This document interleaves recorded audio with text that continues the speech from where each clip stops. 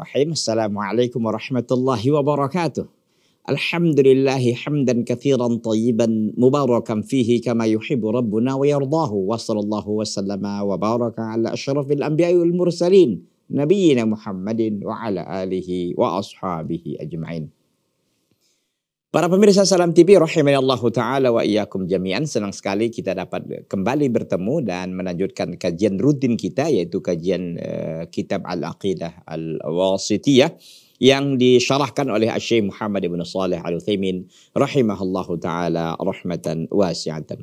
Pada pertemuan yang lalu sudah kita sampaikan terkait dengan uh, sifat Allah Azza wa nama dan sifat tentunya ya terkait dengan ayat yang uh, dikutip oleh Syekhul Islam Syekhul Islam Ibnu Taimiyah rahimahullah dalam kitabnya Al-Aqidah Al-Wasitiyah yaitu firman Allah dalam surah Asy-Syura ayat yang ke-11 dan juga firman Allah dalam surah An-Nisa ayat yang ke-58 waktu itu sudah kita bacakan yaitu dalam surah Asy-Syura Allah Azza wa Jalla berfirman Laisa kamitslihi syai'un. Tidak ada sesuatu apa pun yang semisal ya dengan Allah Azza wa Jalla. Wa huwas samiul basir dan Allah Maha mendengar lagi Maha melihat. Sudah kita sampaikan. Ya, bahwa wa huwas samiul basir ini raddun itu bantahan dan uh, penolakan ya terhadap uh, Mu'attilah. Kaum Mu'attilah adalah orang-orang yang mengingkari nama-nama dan sifat bagi Allah. Nah, di sini di ayat ini telah Allah Azza wa Jalla menetapkan bagi dirinya bahwa ia adalah as-sami' yang maha mendengar bahwa dia adalah al-basir yang maha melihat. Jadi udah nggak bisa bantahan mereka uh, klaim mereka bahwasanya Allah tidak memiliki nama dan sifat terbatalkan, terbantahkan ya, tidak bisa mereka uh, apa namanya ini mempertahankan argumen mereka. Terbantahkan dengan firman Allah Azza wa Jalla ini. Nah, uh, laisa kamitslihi syai'un ya, ayat yang di awalnya tadi sebenarnya ya Desa kamitsli syai'un itu menjadi bantahan juga kepada siapa? Kepada orang-orang ya eh, ahlu tamsil. Tamsil itu dia menetapkan sifat dan nama bagi Allah tapi mereka eh, serupakan, mereka misalkan dengan makhluk. Ah, ini juga bantahan bahwa tidak ada yang serupa dengan sesuatu apa pun dari makhluk. Makhluk Allah banyak nggak? Buah banyak sekali. Triliunan makhluk mungkin ya triliunan gitu. Bayangkan Jahanam itu saja dikatakan neraka jahanam itu akan yu'ta jahannama yu'ta bi jahannama yaumal qiyamah walaha sab'una alfazimam. Jahanam didatangkan pada hari kiamat dan memiliki 70 ribu tali kekang. Dan setiap tali kekang itu dipegang atau dikendalikan oleh 70 ribu malaikat. Itu bayangkan malaikat udah berapa. Belum lagi makhluk Allah yang di lautan berapa. Makhluk Allah di atas bumi berapa. Masya Allah. Manusia aja udah 8 miliar gitu. Lebih. Ya. Ah, begitu. Intinya dari semuanya makhluk ini tidak ada yang uh, semisal dengan Allah Kenapa? Li kamalihi karena kesempurnaannya Allah Subhanahu wa taala. La yumathiluhu syai' tidak ada yang semisal apa pun dengan Allah Subhanahu wa taala. Ini juga bantahan kepada kaum ahlu tamthil. Ah, begitu. Nah, pada pertemuan lalu sudah kita bahas sedikit terkait dengan makna as-sami' wal basir. Sami' ya, artinya yang maha mendengar itu ada dua maknanya. Makna yang pertama artinya al-mujib yang menerima doa, yang menerima, yang mengabulkan, ya. Ini yang menjawab doa. Ini sudah kita sampaikan sebagaimana para ulama memberikan contoh terkait dengan firman Allah di dalam surah Ibrahim ayat yang ke-39. Di dalam surah Ibrahim ayat yang ke-39 Allah SWT mengatakan inna rabbi lasami'ud du'a menghikayatkan dari pernyataan Ibrahim sesungguhnya Rabbku adalah yang maha menerima doa, yang mengabulkan doa. Jadi sami' di sini maknanya al-mujib. Ah demikian ya. Nah, makna yang kedua dari kata sami' artinya idrokus yaitu menemukan mendapatkan suara. Ini para ulama memberikan uh, penjelasan bahwa ini bisa dibagi ke beberapa bagian. Bagian pertama sudah kita bahas waktu itu. Sam'un makna dimaksud dengannya adalah bayanu umumi idrokis sam'illah. Yaitu menjelaskan tentang keumuman pendengaran Allah SWT. Bahwa tidak ada sesuatu pun dari suara yang ada di langit, di bumi, di mana pun. Kecuali Allah dengar itu. Ya, kecuali Allah dengar. Itu sudah kita bahas pada pertemuan yang lalu. Kita akan lanjutkan ikhwati fillah a'azzani Allah taala wa iyyakum jami'an. Jadi tadi dijanjikan kan ada beberapa makna ya. Kalau saya lihat di sini ada eh, minimal ada empat makna. Apa namanya nih? Uh, iya, ada apa namanya ini? Ada tiga ya minimal ada tiga uh, tiga makna. Kalau kita maknai sami di sini artinya adalah mendapatkan atau uh, mendengar suara. Jadi Makna yang pertama tadi menjelaskan tentang keumuman pendengaran Allah meliputi segala hal. Yang kedua, sam'un yuradu bihi an-nasr wa ta'yid. Sam'un maksudnya di sini adalah an-nasr wa ta'yid yaitu pertolongan dan bantuan. Nah, ini dia. Jadi sam'un di sini maknanya adalah an-nasr wa ta'yid yaitu pertolongan dan bantuan. Nah, itu dia. Wa yang ketiga Ya, ini terkait dengan makna yang e, di atas tadi yaitu idrokus sot tadi ya, menemukan suara. Yang ketiga adalah sam'un yuradu bihi wa tahdid. Yang sam'un maksudnya di sini adalah e, ancaman ya dan juga e, intimidasi. Ya, ancaman al-wa'id ya ancaman dan penakut-nakutan gitu. Jadi ancaman dan ditakut-takuti ini makna mana samun. Jadi makna samun kalau dimaknai artinya idrokus saut berarti tiga dari dari dua tiga sisi. Pertama itu untuk menjelaskan tentang keumuman pendengaran Allah Azza wa. Yang kedua adalah maksudnya untuk uh, maksudnya adalah an-nasr wa ta'yid yaitu pertolongan dan bantuan. Yang ketiga makna maksudnya adalah al-wa'id yaitu ancaman itu sendiri. Kita lihat Misalul awal, contoh pertama. Contoh pertama maksudnya apa? Contoh pertama maksudnya bahwasanya Allah Azza wa Jalla mendengar segala sesuatu. Tidak ada yang tersembunyi, tidak ada yang tidak didengar oleh Allah Azza wa Jalla. Suara baik di langit maupun di bumi. Kan begitu. Contohnya apa? Firman Allah Azza wa Jalla ya terdapat dalam surah Al-Mujadalah bisa dua dibaca Mujadilah atau Mujadalah. Dalam surah Al-Mujadilah Ayat yang ke satu, Allah SWT mengatakan, Qad sami Allahu qawlan lati tujadiluka fi zawjiha wa tashtaki ilallah. Sungguh Allah Azza wa Jalla telah mendengar semua perkataan yang tujadiluka, yang menggugat engkau. Ya, fi zawjiha yang menggugat engkau tentang suaminya. Wa ilallah dan dia mengadu kepada Allah. Ya, maka bagaimana kita lihat di sini penjelasannya? Fahada fihi bayanu ihatati sam'illahi ta'ala bikulli masmu'in. Maka di sini di ayat ini itu penjelasan tentang uh, pendengaran Allah yang meliputi segala sesuatu yang bersuara. Ha, gitu ya. Jadi ayat ini tegas.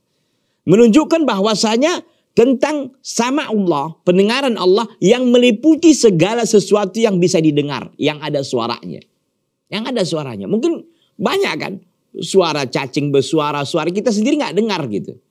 Tapi Allah SWT mendengar semuanya itu.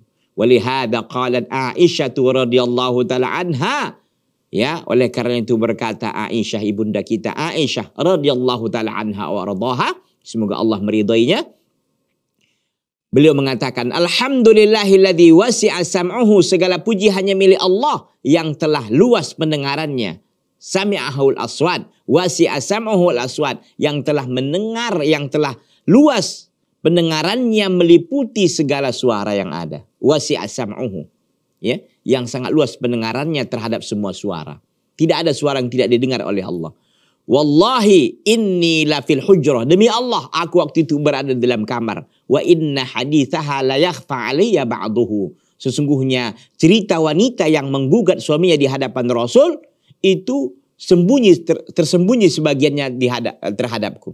Artinya ibunda Aisyah waktu itu di kamar. Ya, dia hanya sedikit mendengar. Jarak mereka kan dekat, tapi Allah dari langit yang ketujuh, mimpauki sab'i samawat, dari langit yang ketujuh sana mendengar semua apa yang dibicarakan oleh wanita ini kepada Nabi SAW terkait dia menggugat cerai suaminya. Subhanallah. Mimpauki sab'i samawat yang jaraknya kita tidak tahu gitu kan. Subhanallah. Yang kata para ulama berdasarkan hadis Nabi SAW, jarak satu langit dengan langit yang lain itu kan 500 tahun perjalanan. Oke, karena ada tujuh. Berarti kan eh, 500 kali tujuh, 5 kali tujuh. Berarti kan 3500 tahun. Oke. Nah, ketebalan langit itu dari awal sampai akhir itu 500 tahun juga. Nah, berarti kan 7000 jadinya, 7000 tahun. 7 7000 tahun perjalanan. itu gimana jauhnya itu subhanallah. Ya. Belum lagi jarak bumi dengan langit gitu. Kita nggak tahu berapa jaraknya. Subhanallah, ya. Jadi ini menunjukkan apa ikhwan? Ya, dan akhwat para pemirsa Salam TV rahimanallahu taala wa iyyakum jami'an bahwasanya Allah Azza wa Jalla itu sangat eh, kuasa, sangat uh, apa namanya ini luar biasa dalam perkara ini. Bahwasanya Allah Azza wa Jalla Rabb yang kita ibadahi itu kita semakin bersemangat untuk beribadah kepada Allah, semakin yakin kita bahwasanya Rabb yang kita ibadahi saat ini adalah Rabb yang memiliki pendengaran yang semuanya Allah dengar. Makanya kita jadinya termotivasi untuk doa gitu. Di mana pun kita doa kepada Allah. Karena di mana pun kita Allah pasti dengar doa kita itu. Sesulit apa pun kita, se, se, se apa namanya, seterpuruk apa pun kita doa kepada Allah. Semua doa kita akan diijabah oleh Allah SWT. Meskipun diijabahnya itu akan berbeda-beda hasilnya. Ada yang diijabah memang benar, ada yang diganti dengan kita diselamatkan dari musibah, ada yang nanti ditabungkan oleh Allah nanti diberi kita di hari kiamat. Intinya kalau kita berdoa nggak ada ruginya gitu loh. Walaupun nggak dikabulkan nggak apa-apa di dunia ini. Bisa saja Allah palingkan kita dari dari musibah yang akan menimpa kita atau nanti Allah Azza akan berikan kepada kita waktu hari kiamat nanti.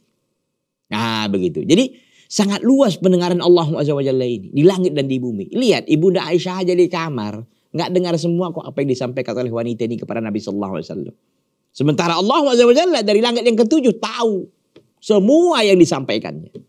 Mendengar Allah wa semua yang disampaikannya. Taib. Itu yang pertama tadi sudah kita sampaikan. Ini contoh pertama terkait dengan bahwasanya pendengaran Allah itu meliputi segala perkara. Oke. Misalnya thani contoh yang kedua. Kama fi qawlihi ta'ala li Musa wa Haruna. Sebagaimana firman Allah Jalla kepada Nabi Musa dan Harun. Ya. Apa kata Allah? Innani ma'akuma asma'u wa ara. Sesungguhnya aku kata Allah bersama kalian. Asma'u wa ara. Aku mendengar dan aku melihat. Maksudnya aku mendengar, aku melihat ini maksudnya apa? Aku bantu kalian. Aku tolong kalian. Itu maksudnya bukan hanya sekedar dengar dan melihat. Udah, enggak. Di sini maknanya di sini ada anasru wa ta'yid. Pertolongan.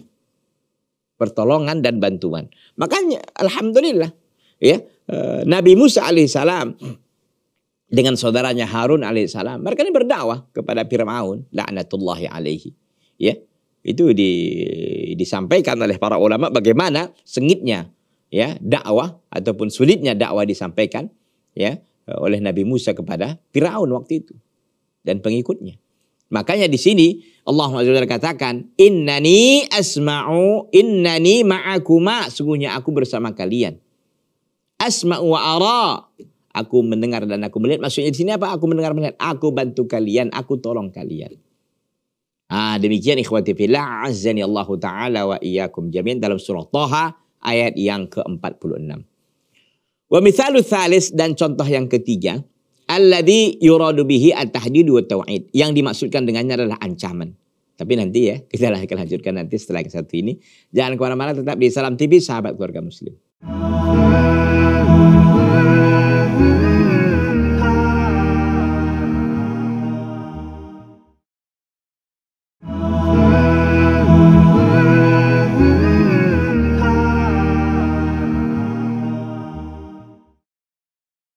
Ikhwati fillah, a'azzani Allah Ta'ala wa iyyakum jami'an. Contoh yang ketiga, artinya contoh ketiga dari uh, pembahasan kita sebelumnya bahwa uh, sami' ya dimaknai mendapatkan suara ya itu uh, dimaknai dengan kata al-wa'id yaitu ancaman. Kita lihat dalilnya. Qauluhu ta'ala firman Allah wa jalla Am yahsabuna anna la nasma'u sirrahum wa najwahum bala wa rusuluna ladaihim yaktubun. Apakah mereka mengira anna la nasma'u? Bahwa kami tidak mendengar. Bahwa kami tidak mengancam. Memberikan ancaman sirrahum terhadap rahasia mereka. Wa najwahum dan bisikan-bisikan mereka. Bala wa rusuluna demikianlah para rasul kami ladaihim.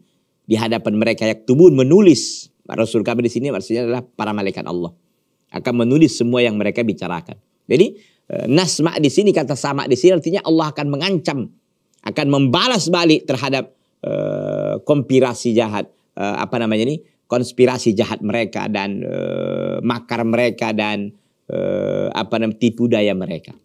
Nah, ini terdapat dalam surah Az-Zukhruf ayat yang ke-80. Fa inna hadza yuradu bihi tahdiduhum. Maka sesungguhnya ini dimaksudkan dengannya tahdiduhum. Apa itu tahdid? Yaitu mengancam mereka. Ya, wa wa'iduhum mengancam dan uh, menakut-nakuti mereka. Haitsu kanu yusirruna ma la yarda minal qaul.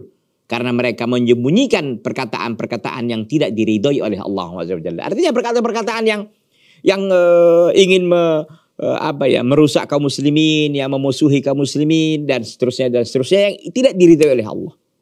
Maka konspirasi jahat mereka itu akan dibalas nanti oleh Allah Jadi mendengar di sini bukan hanya sekedar dengar gitu, tidak. Bahkan Allah balas dia nanti. Ya, ikhwati fillah azani Allah taala wa iyyakum jami'an. Wa sam'u bima'na al-idrakil masmu' dan sama maksudnya adalah mendapati semua suara yang bisa didengar itu minasipati datiyah dari sifat-sifat datiyah. Wa in kana al-masmu'u qad yakunu hadisan meskipun yang didengar itu terkadang adalah sesuatu yang baru. Artinya sama bagi Allah itu bukan sifat fi'liyah, tidak, karena kan sifat itu ada dua dia. Bahkan ada tiga dia kan pembagiannya. Ada sifat fi'liyah yang sifat fi'liyah itu artinya dia ada ketika Allah mau, ketika Allah yang berkehendak. Seperti sifatul nuzul umpamanya ya sifatul maji dan lain sebagainya. Ini disebut dengan sifatul fi'liyah. Tapi ada sifatul dzatiyah yang selalu menempel kepada Allah. Apa itu? Seperti tangan, ya, eh, seperti jari, eh, seperti kaki sebagaimana kita sampaikan dalam hadis Nabi Shallallahu alaihi wasallam. Begitu juga mata. Ini semuanya ada dalilnya, bukan kita sembarangan mengatakannya enggak. Ini disebut dengan sifat dzatiyah. Tapi di sini juga eh, sama yang bermaksudnya mendengar bisa mendengar semua suara ya itu termasuk juga sifat zatiyah dan dari satu sisi dia bisa juga sifat fi'liyah jadi ada dia sifat itu disebut oleh para ulama sifat zatiyah fi'liyah seperti sifat kalam artinya sifat kalam itu dari dulu Allah SWT sudah bisa bicara gitu ya semenjak azali tapi ada yang didengar suara-suara baru hari ini ya itu sifat fi'liyah Allah SWT bisa mendengar apa saja pun yang Allah kehendaki. Ah, ya. Eh, begitu juga dengan eh, bicara. Kapan Allah bicara, konteksnya apa, dengan siapa, Allah SWT uh, mampu melakukannya.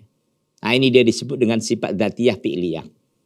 Ya, artinya yang dari dari dulu Allah SWT semenjak zaman azali sudah sudah bisa mendengar. Ya. Kemudian oh, apa yang Allah ingin dengar bisa Allah dengar dan semua bisa Allah Allah SWT dengar. Ah ini disebut dengan sifat fi'liyahnya.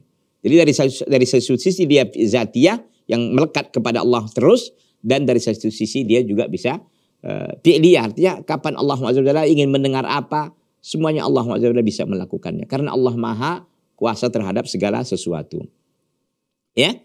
Taib. Wasam'u bimakna nasru wa ta'yid. Adapun sama maknanya adalah an-nasru pertolongan dan bantuan. Minas sifat fi'liyah itu termasuk sifat-sifat fi'liyah. Ah ini tadi kan. Kita sudah sampaikan sifat datiah dan fi'liyah dia. Ya. Li'annahu makrun bisabab. Karena ini terkait dengan sebab. Ada sebab artinya ada sesuatu yang memang butuh pertolongan Allah but lalu Allah bantu. Ah, begitu ya. Wasamu bima'nal ijabah minasifatil fi'liyah aydan. Adapun sama maknanya ijabah menerima mengabulkan doa itu juga termasuk sifat fi'liyah. Itu termasuk sifat fi'liyah. Artinya sifat fi'liyah ini terkait dengan masyiah, kehendak Allah. Kalau Allah mau, ya terjadi. Nah, itu. Jadi bisa kita katakan sama itu juga sifat dzatiyah fi'liyah. Dari satu sisi dia dzatiyah, artinya yang selalu melekat kepada Allah. Dari dulu Allah SWT sudah bisa mendengar. Dan dia fi'liyah, artinya kapan Allah berkehendak itu bisa dilakukan. Ya, artinya kapan Allah yang mendengar bisa. Seperti tadi itu. Dan bisa juga disebut dengan uh, sebagaimana kita sampaikan tadi kalau maknanya ta'yid wa nasru yaitu pertolongan dan uh, bantuan itu juga termasuk bagian daripada sifat Sifat apa? Sifat uh, fi'liyah. Sifat fi'liyah terkait dengan sama. Ah, demikian ikhwati fillah. A'azzani Allahu Ta'ala wa iyyakum jami'an. Begitu juga terkait dengan mengijabah doa. Itu juga termasuk sifat uh, sifat uh, fi'liyah juga. Ikhwati fillah, a'azani Allah taala wa iyyakum jami'an. Sekarang kita akan berbicara tentang al-basir. Ya, tadi kan kita sama sudah kita sampaikan. Sekarang al-basir. Al-basir yang qauluhu ya firman Allah Azza wa Jalla dikutip oleh Syekhul Islam Ibnu Taimiyah rahimahullah Al-Basir. Tadi kan kita katakan laisa kamitslihi syai'un wa huwas samiul basir. As-sami' sudah kita bahas. Ya. Sekarang al-basir. Al-basir yakni mud al-mudriku li jami'il mubsirat.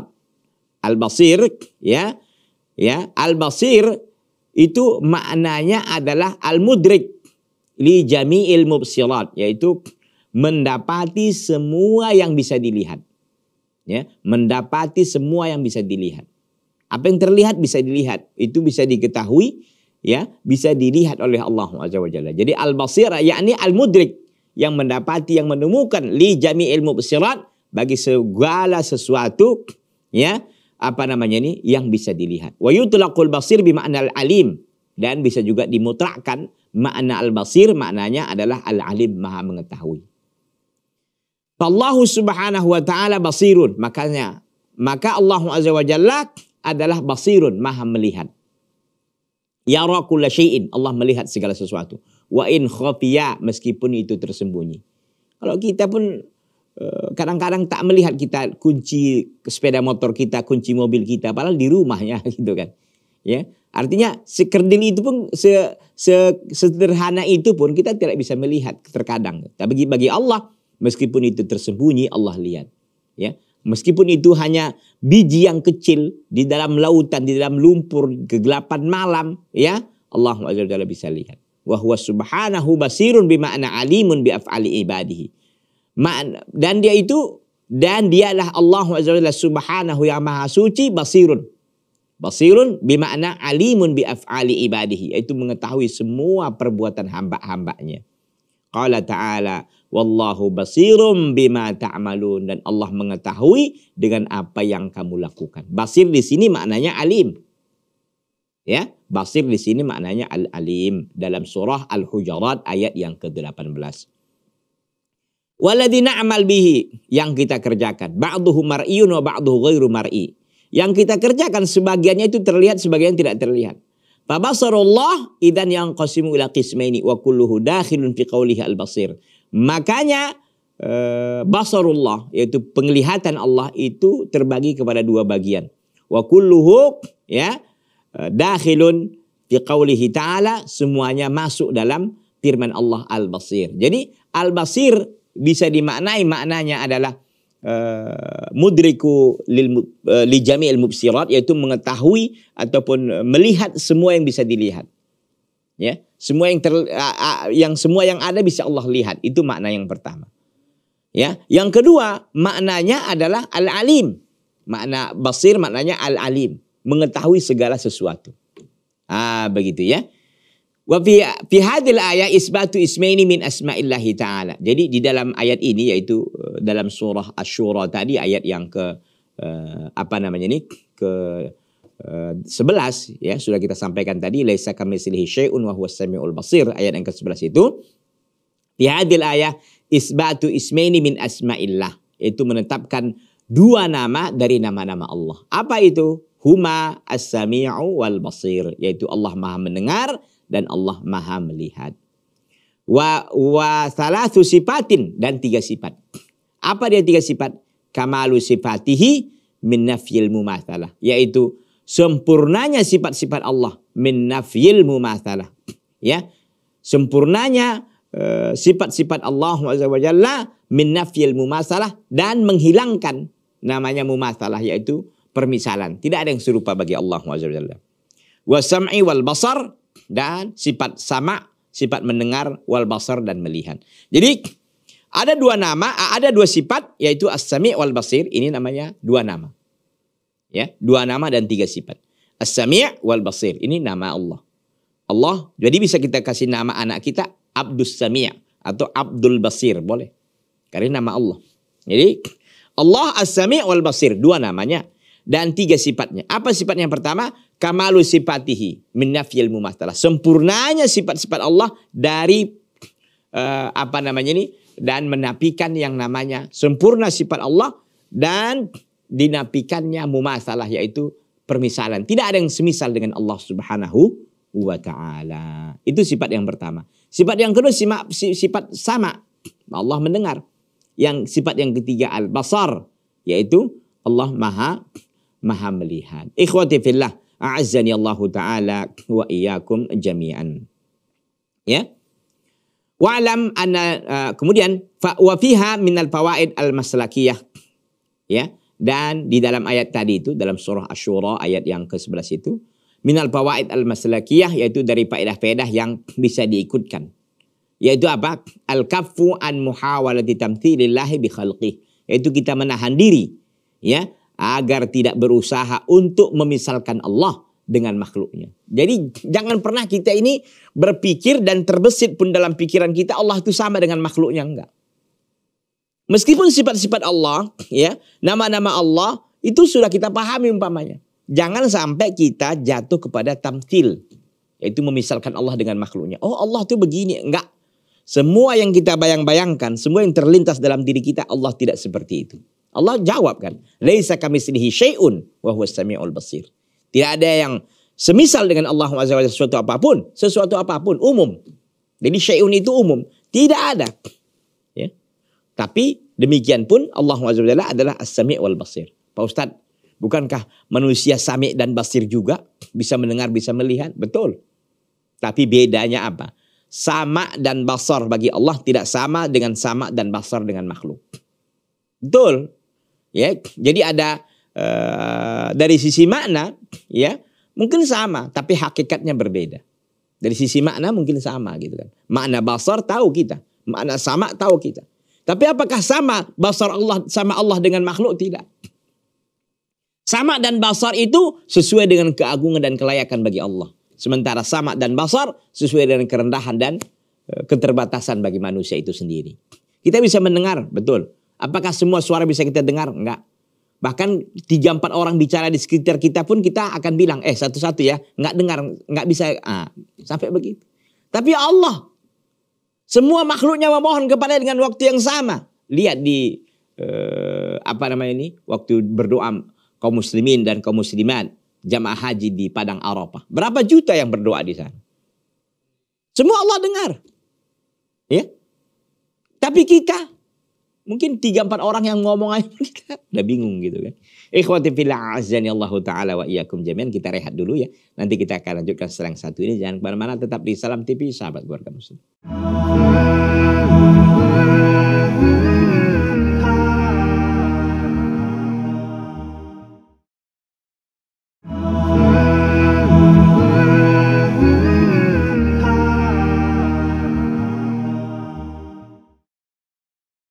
Ikhwati fillah azani Allah taala wa iyyakum jami'an para pemirsa Salam TV yang berbahagia. Jadi kita sudah sampaikan tadi bahwa di antara faedah yang mengiringi terkait dengan sudah kita sampaikan di dalam surah uh, Asy-Syura ayat yang ke-11, laisa kamitslihi syai'un itu wa huwas samiul basir. Uh, kata Syekh Muhammad bin Shalih Al-Utsaimin adalah al-kaffu, kita menahan diri an muhawalati tamtsilillahi bi khalqihi kita menahan diri ya dari memisalkan Allah Azza wa dengan makhluknya. Tidak akan sama. Mungkin orang akan eh, mengatakan sebagaimana saya sampaikan sebelum jeda tadi bahwa bukankah manusia Ustadz bisa mendengar dan melihat? Betul, manusia bisa mendengar dan melihat. Tapi pendengaran Allah dan pendengaran manusia itu nggak sama. Penglihatan manusia dengan penglihatan Allah itu tidak sama. Manusia hidup juga kan, Allah hidup juga. Betul. Tapi kehidupan Allah beda dengan kehidupan. Hidupnya Allah beda dengan hidupnya manusia dan makhluk lainnya. Beda. Kita nggak usah jauh-jauh lah ya. Kita mendengar aja, mendengar antara manusia ini pun bertingkat-tingkat kan. Makhluk dengan makhluk padahal, sama-sama makhluk gitu. Beda. Ada yang mendengar dia bisa jauh, bisa suara yang kecil didengar. Ini suara yang agak besar pun nggak bisa didengar. Mungkin rusak pendengarannya kan. Sama dengan penglihatan juga. Antara makhluk saja beda-beda penglihatannya. Ada yang bisa melihat dengan tulisan yang kecil pun masih bisa melihat. Ada yang udah besar pun uh, udah besar tulisan nggak bisa dilihat. Ada yang agak jauh nggak bisa dilihat. Ada yang istilahnya rabun ya, ada rabun dekat, rabun jauh dan seterusnya dan seterusnya. Maksud saya ingin menyampaikan bahwa nggak usahlah kita banding-bandingkan makhluk dengan sang kholik. Gitu. Antara makhluk saja pun berbeda-beda. Apatah lagi, Ah gitu. Dengan sang Khalik Allah Subhanahu wa taala pastilah akan lebih akan lebih berbeda lagi. Makanya Allah SWT katakan sampai kapan pun nggak akan pernah sama. Laisa kami syai. Allah kunci dalam surah Ash-Shura ayat 11 itu. Ya. Jadi itu faedah yang e, bisa kita ambil bahwa kita berusaha untuk al-kaf yaitu menahan diri. Ya, menahan diri agar kita tidak berusaha selalu memisal-misalkan Allah dengan makhluknya. Kemudian apa lagi? Wastish'aru 'azamatihi wa kamalihi dan kita uh, istisyar, kita merasa keagungan Allah yang sangat luar biasa, wa kamali dan kesempurnaannya. Itu dia. Jadi kita uh, Allah SWT nggak akan pernah sama dengan makhluknya ya. Kemudian kita istisyar, kita merasa ya bahwasanya Allah SWT itu sangat agung, agung sekali dan sempurna segala sifat-sifatnya, segala nama-namanya. Yang ketiga faedahnya wal hadru min an yaraka ala ma'siyatihi aw yasma'u minka ma la yardah. Dan kita berusaha berhati-hati dan waspada senantiasa ya e, berusaha agar kita selalu berhati-hati waspada ya agar Allah SWT tidak melihat kita ya dalam keadaan bermaksiat atau mendengar dari kita sesuatu yang tidak Allah ridhoi. Itu dia.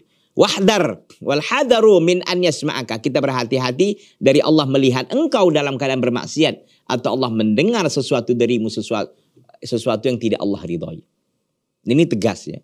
Bahwasanya eh, apa namanya ini? Kita perlu waspada, berhati-hati ya agar kita ini apa? Agar kita ini tidak melakukan perbuatan dosa dan maksiat ya hati-hati atau kita mengucapkan sesuatu yang itu tidak me, me, me, apa namanya ini tidak me, e, mendapatkan ridho dari Allah. Artinya perkataan-perkataan yang perkataan-perkataan yang jelek, perkataan-perkataan yang dosa dan sebagainya gitu.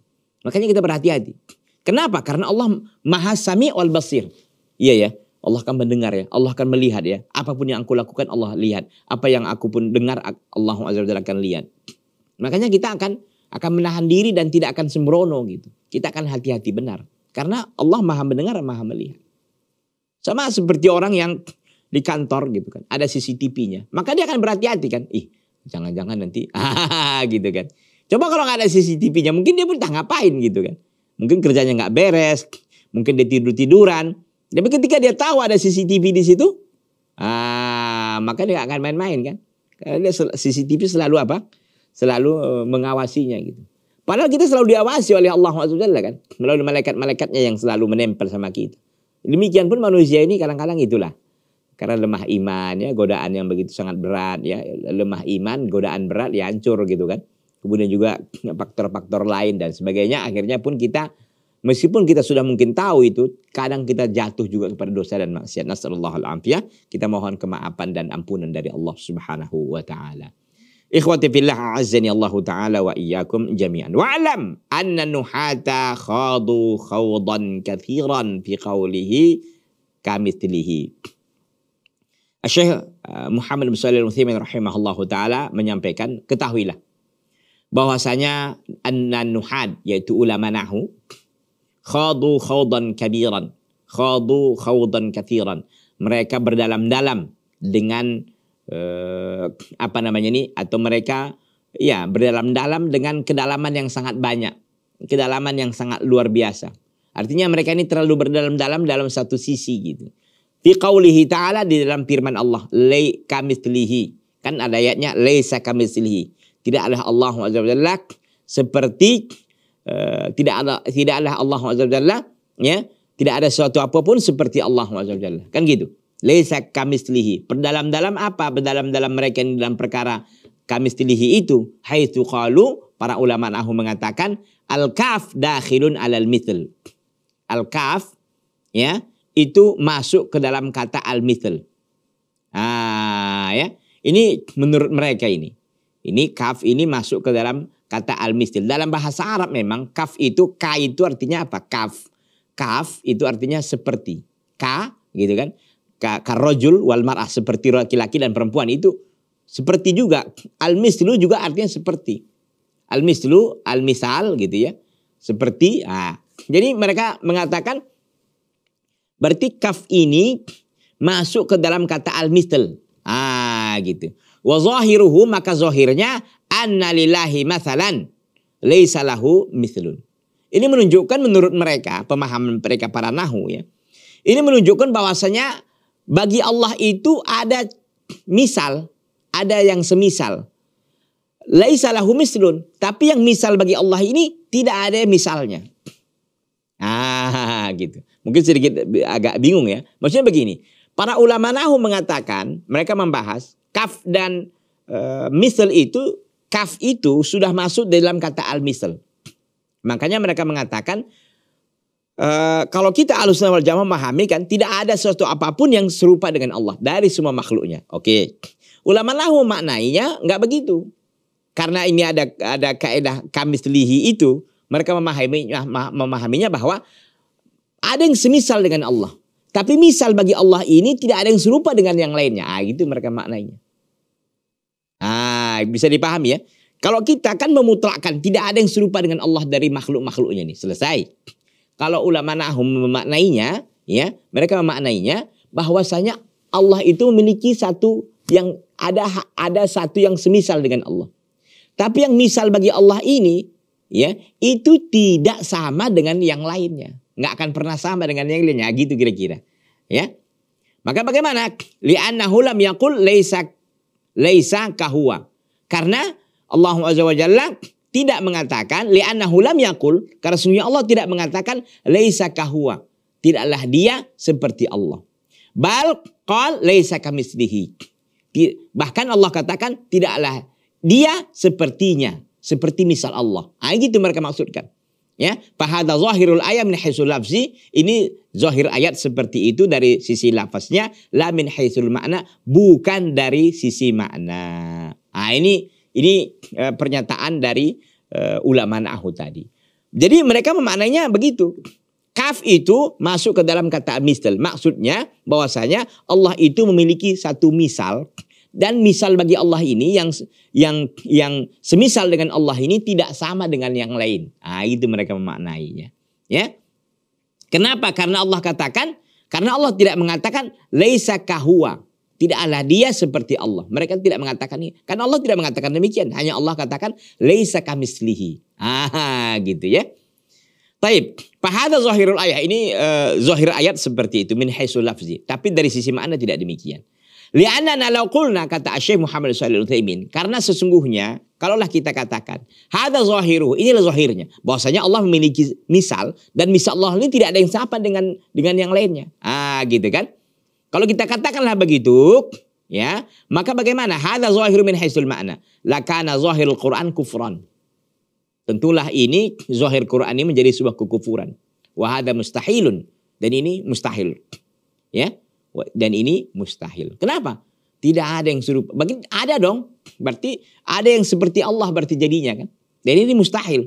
Makanya lakana zahir Quran kalau begitu secara zahir Quran ini ada kekufurannya di situ.